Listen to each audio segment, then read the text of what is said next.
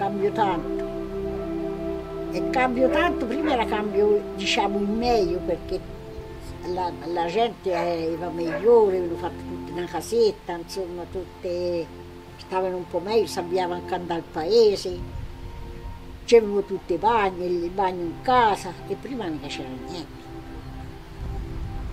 prima c'era niente se sarà stata anche male, vincevano tante cose, però ora, ora si sta peggio di prima. Secondo me è, a me mi manca tutto, mi manca che non c'è più amicizie, non c'è più niente.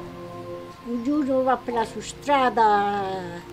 non si, non si riconosciamo più uno con l'altro, ma per carità, a che ne so io come mai. Una volta eravamo tutti amici d'amore e d'accordo, si vegliava, si scherzava, si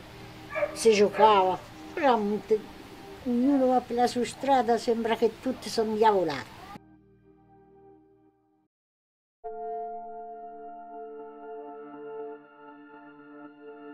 Mi rendo conto il perché,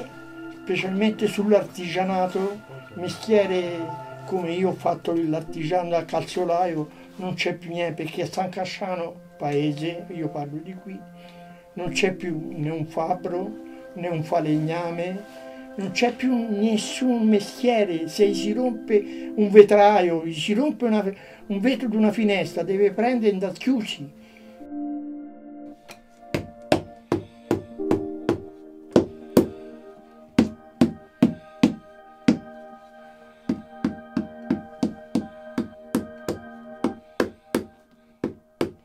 Il lato positivo che mi piace molto è il poter far conoscere la nostra cultura, le nostre tradizioni che sono le cose che ci legano di più poi al territorio e al, alla nostra famiglia, alle altre persone in realtà poi non solo del paese ma in tutta Italia.